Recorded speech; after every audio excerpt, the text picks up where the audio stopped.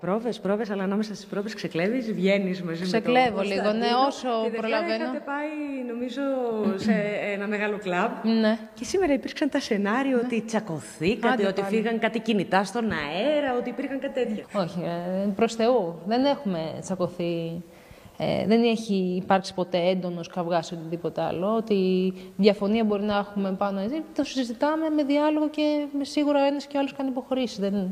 Αλλά μέχρι στιγμής δεν έχουμε τσακωθεί. Ξέρεις τι, Στην αρχή μας θέλανε ζευγάρι. Τώρα που είμαστε ζευγάρι, ε, θέλουν να μας χωρίσουν.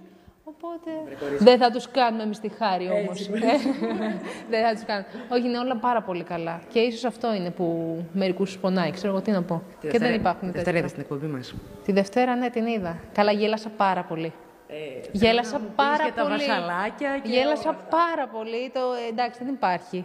Έψαχνες το θέμη. Έτσι. Ετοιμάσου. Την Παρασκευή θα σου έρθω.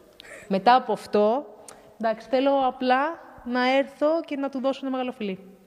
Αλήθεια. Δηλαδή, γέλασα τόσο πολύ με όλο του, τε- έτσι όπως ε, Σε είχε τον θυμώσει τρόπο. όμως με το, με, τα, βασ- με το Ε, βασαλάκι στην αρχή. ε, δεν, ε, δεν, είναι, δεν είναι, πήγα να του ζητήσω το λόγο και «Α, τι έκανες».